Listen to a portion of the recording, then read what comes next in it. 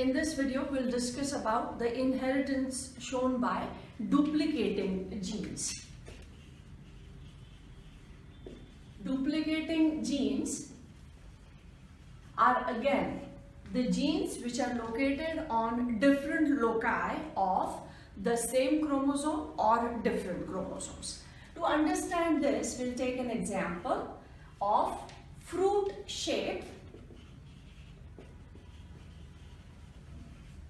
in Capsella bursa.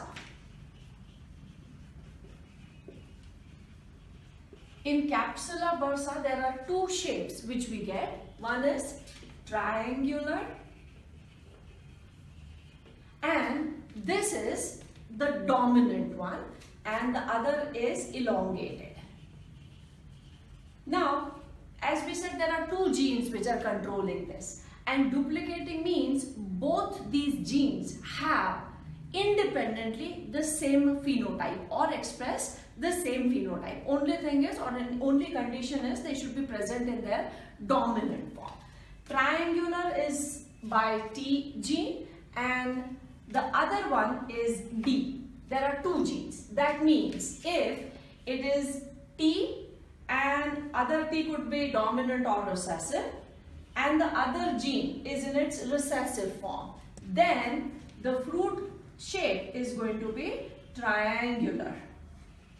If other situation is taken, that means T is lowercase, both T's are lowercase and D is dominant, other D could be dominant or recessive. Then also the color or sorry, the shape is triangular. If T and D both are together, then also the shape is triangular. Only situation when the shape is not triangular or the shape is elongated is when the T's are also recessive and the D's are also recessive. In this situation, the shape will be elongated. That means both the genes T and D are responsible for showing only one type of trait or phenotype that is the triangular shape of the fruit. Now to understand what ratio will we get, let us start with a pure line and pure line could be TT with DD. The shape is going to be triangular as whether it is T or D, they express the same phenotype. If we cross it with lowercase t and dd, this also is going to be triangular. This is our parent generation. In F1, this particular plant will produce gamete having one T capital that is dominant and small d recessive D. Here it's going to be recessive T and capital D or dominant D. That means in F1 of first generation we will get heterozygous for T and heterozygous for D. These also will be triangular. Now here we started with only T dominant for one phenotype that is triangular, only D dominant that is same type of phenotype, both together also are responsible for the same type of phenotype. If we want to show the ratio or get the ratio in F2, we'll have to self these F1 members. So on selfing, what is the ratio that we are going to do? Without making a cross also, we can interpret, but let us first make a cross, Punnett square, and then we'll see why we were able to interpret it in that easier manner. In typical Mendelian dihybrid cross, we said the ratio is 9 is to 3 is to 3 is to 1. In this case, the 9 are both genes dominant. This is a dihybrid cross. In these three, one is dominant, anyone, and in the other three, the other one is dominant. And as we said, whether T is dominant or D is dominant, that would be here in these two ratios. And if both are there, that would be in 9. That means our ratio should be 15 is to 1. But let us cross check. it. If we talk of heterozygous for both, that is from F1 we are taking them and selfing them, then they will produce the same type of gametes. Let us make this Punnett square and write down their genotypes.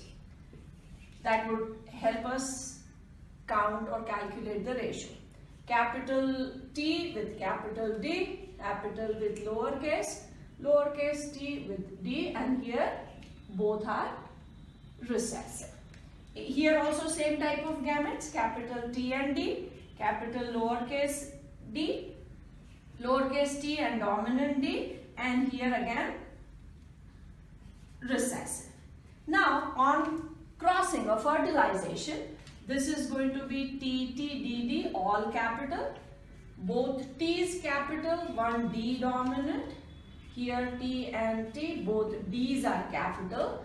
Here T and lowercase, D and D, T and T, D and D, capital, capital, both D's recessive capital T, lowercase, one dominant D, one recessive, capital T, small t, small d, small d. Here capital T, small t, both d's are dominant. Capital T and small, capital D and small. Here both t's are small but both d's are capital. Small t and small t, capital D and small d. And here capital and small, capital and small. This is capital T small. Both D's are recessive. Here T's are small, capital D and small and in this case all are recessive. Let us see what will be the fruit shape in them. We said if T is dominant, fruit shape is going to be triangular. If D is dominant, fruit shape is going to be triangular. And if both are dominant together, then also the fruit shape is going to be triangular. So this will be triangular. Same here. Here also T and D dominant. So triangular, triangular. Here also. Here only T's are dominant. D's are recessive. But T alone also gives the same phenotype. So this will also be dominant. This is also dominant. Here T is dominant. So this will be triangular, triangular, triangular. Here T is recessive but D is dominant. D also shows the same fruit shape that is triangular. In this case also triangular. Here also T and D both are there. So triangular. T is dominant. So triangular. D is dominant. So same. In this case, it is all recessive. So this is the only one which is going to be elongated. Now, this is the same thing which we were talking about earlier. Without even plotting this Punnett square, we could have interpreted the ratio. Because in a typical dihybrid cross, when we write this ratio, we say 9 have both dominant. This would be in that 9. This would be in that 9. And have one out of the two dominant. Say for example this one, T is dominant. Here D is dominant, so that would come into the other three.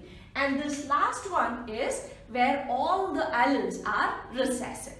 So this ratio which we get here as the ratio of our duplicating gene that is 15 is to 1 is a modified form of the same typical Mendelian dihybrid ratio that is 9 is to 3 is to 3 is to 1. These have combined to give same type of phenotype and the only one which gets which is in this corner has only the recessive one. So here the fruit shape is going to be elongated. So 15 is to 1 ratio is what we get in duplicating gene because both the genes they are responsible or they are showing the same type of phenotype or character.